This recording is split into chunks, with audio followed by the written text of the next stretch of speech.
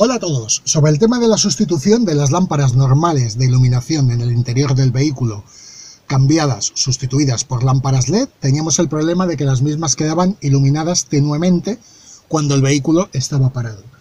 Pues bien, vimos en vídeos anteriores que la solución al problema es colocar una resistencia en paralelo con la lámpara. Seguro que algunos ha preguntado cuál es el consumo que incrementa al consumo de esta lámpara LED que hemos colocado, pues bien, vamos a ver el consumo normal, he colocado el amperímetro en la escala de 200 microamperios a fondo de escala, por lo tanto, tocando, iluminando tenuemente la lámpara, vemos que el consumo es de 50,1 microamperios, es decir, 0,00005 amperios.